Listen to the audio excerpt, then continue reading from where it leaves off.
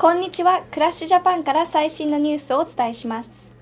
先日宮城県仙台市のビジネス街にて世界各国のクリスチャン災害ボランティア団体の代表者54名が集まり会議をしました People in Tokyo especially think it's done. They think it's over. And we'll have incredible loss of life happen if we don't keep the continuity. 今後の東日本大震災復興支援についてお互いに祈り合い目標を決めることができました、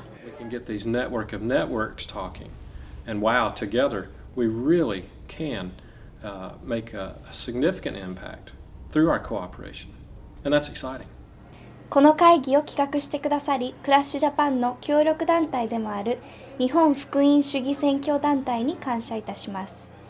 被災地で今一番必要とされているのは被災者の方々への心のケアですクラッシュジャパンでは日本語が堪能なクリスチャンボランティアの方たちをたくさん必要としていますクラッシュジャパンでハウジングと心のケアトレーニングを提供いたします So the Kokoro no Care class or training that was that is given is um, it kind of addresses the entire issue of Tohoku area with the disaster relief. One of the main things that we've been doing has been um, hand massages, and you know at first you're kind of like, well, what Japanese person would accept a hand massage? But they're they're more than welcome to accept it. クラッシュジャパンの Facebook や Twitter もぜひご覧ください被災地でのボランティア活動の様子がよくお分かりいただけますクラッシュジャパン東京都東久留米本部からお伝えしました。